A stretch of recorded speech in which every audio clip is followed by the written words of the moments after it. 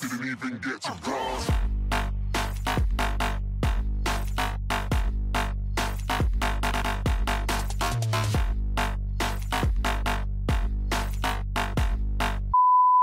Oye vecino, ¿sí es cierto que tú eres bien fan de las chivas? Siempre te veo ahí publicándole en Face. Pues sí, güey, soy bien fan. Todos los partidos los veo. A ver si muy fan, ¿cómo quedaron las chivas en la final?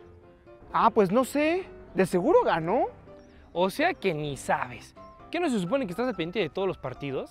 Amigo, te recomiendo que pruebes la aplicación de OneFootball, ya que por ejemplo ahí puedes elegir a tu equipo favorito de la Liga MX y estar al pendiente sobre todos sus partidos, por ejemplo, a qué hora juega, dónde juega, contra quién, cómo va el marcador.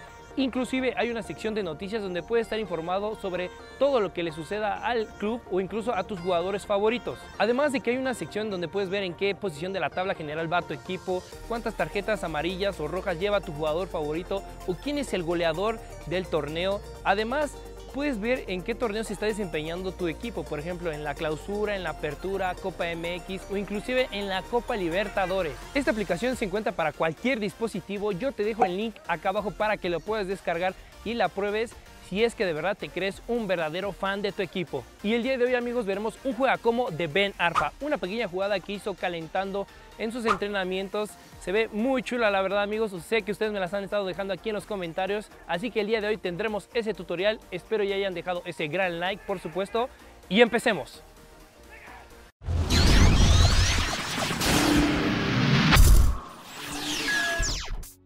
Como pudimos ver el video amigos, en la jugada se ve bastante rápida, no se ve tan complicada, pero déjenme decirles que sí tiene su pequeño grado de dificultad. Empecemos. Como primer paso amigos, lo que tenemos que hacer es colocar nuestro pie fuerte, en mi caso el derecho, detrás del balón, bastante pegada a la punta del balón. Y vamos a realizar un pequeño salto, pero vamos a elevar nuestra pierna izquierda por enfrente del balón. Una vez haciendo esto, vamos a realizar el salto y vamos a su vez de tratar de elevar el balón hacia adelante de esta manera. Como les dije amigos, vamos a colocar nuestro pie fuerte detrás del balón, justamente la punta muy cercana a él, y nuestro pie débil va a ir por enfrente y a su vez elevado.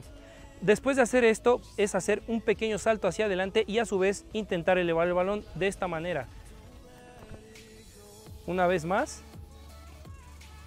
colocamos nuestro pie detrás, pie débil al frente y vamos a dar el salto. Como pudieron ver amigos, cuando aterrizo quedo de esta manera, eso es importantísimo.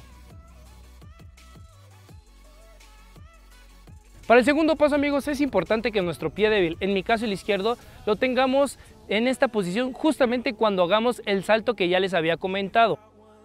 Esto es para que el balón cuando vaya elevándose rebote justamente en esta parte de nuestro pie y lo podamos redireccionar hacia donde no se encuentra nuestro rival. Vamos a hacer el movimiento sin balón, amigos. Lo que tenemos que hacer es colocar nuestro pie en esta posición. Recuerden, elevado el izquierdo. Y cuando hagamos el salto, vamos a hacer lo siguiente. Como que una pequeña separación y cuando el balón rebote en nuestro pie izquierdo, va a ir en esta dirección y podamos salir conduciendo el balón sin problemas. Vamos a hacerlo ya con el balón. Sería algo así. Y salimos conduciendo. Es importante que practiques este movimiento varias veces haciendo muchas repeticiones para que a la hora de que hagas este pequeño rebote que es la clave de todo el movimiento te salga justamente a la dirección que tú quieres. Este movimiento en particular te va a ayudar a mejorar tu pierna débil, en mi caso sería la izquierda, ya que el rebote y la conducción final se basan prácticamente en esta pierna. Yo te sugiero que esta jugada la practiques porque seguramente ninguno de tus amigos la domina, así que cuando tú la hagas o se las apliques, te verás como todo un pro.